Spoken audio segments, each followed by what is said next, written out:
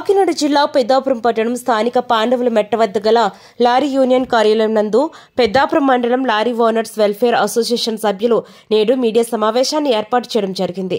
ఈ సందర్భంగా వారు మాట్లాడుతూ మా యూనియన్లో సభ్యులుగా ఉన్నటువంటి కొంతమంది సభ్యులు ప్రత్యేకమైనటువంటి యూనియన్ పెట్టుకొని ఎప్పటి నుండో ఉన్నటువంటి మా యూనియన్పై మరియు మా యూనియన్ గౌరవ అధ్యక్షులైనటువంటి మట్టె శ్రీనివాస్పై బురద జల్లుతున్నారని గత శనివారం మీడియా మిత్రులతో వారు చెప్పిన మాటలలో వాస్తవాలు లేవని వారంతట వారి యూనియన్ నుంచి వెళ్ళి ప్రత్యేకమైన యూనియన్గా ఏర్పడి మాకు విరుద్ధంగా ప్రవర్తిస్తున్నారని చాలా మార్లు మాతో కలిసి పనిచేయమని చెప్పినా మాకు వ్యతిరేకంగా యూనియన్ని నడుపుతున్నారని ఇదే విషయాన్ని జిల్లా యూనియన్ సంఘం వద్దకు తీసుకువెళ్ళడం జరిగిందని తెలియజేశారు మా యూనియన్కి వ్యతిరేకంగా కార్యక్రమాలు వారు చేపట్టడం జరుగుతుంది అని ఈ విషయంపై చట్టరీత్యా చర్యలు తీసుకోవడం జరుగుతుందని అన్నారు.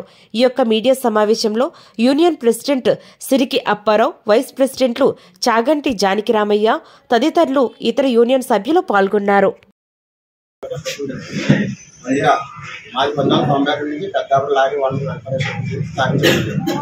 అందులోని గత కొంతకాలంగా నలభై రెండు సభ్యులు ఒక్కొక్కరి పేర్లతో నలభై సభ్యులు తయారయ్యాయి అందులో ఒక్కొక్క వాండర్కి కొన్ని వాండర్ కంపెనీ ఎవరన్నా ముప్పై మంది ఉన్నాం సార్.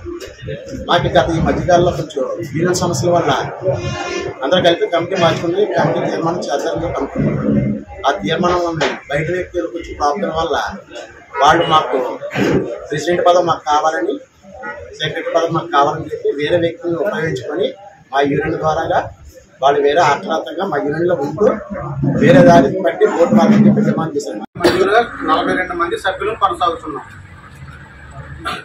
మాకు తెలియకుండా మాలో ఉన్నటువంటి కొంతమంది సభ్యులు ఒక పద్నాలుగు మంది ఈ ఇరవై ఐదు పన్నెండు ఇరవై రెండో సంవత్సరంలో వేరొక యూనియన్ రిజిస్టర్ చేసుకుని మా పాత కమిటీలో ఉన్న సభ్యత్వాలకి రాజీనామా చేయకుండా వారు మరొక యూనియన్లో సభ్యులుగా కొనసాగు పెట్టుకుని ఈ రోజున మా యూనియన్ మీద మా మీద మా గౌరవాధ్యక్షులైన శ్రీ మట్టే శ్రీనివాస్ గారి మీద అసత్య ఆరోపణలు చేస్తూ మా యొక్క అసోసియేషన్ పరువును మా గౌరవాధ్యక్షులైన మట్టే శ్రీనివాస్ గారి పరువును తీసినారండి.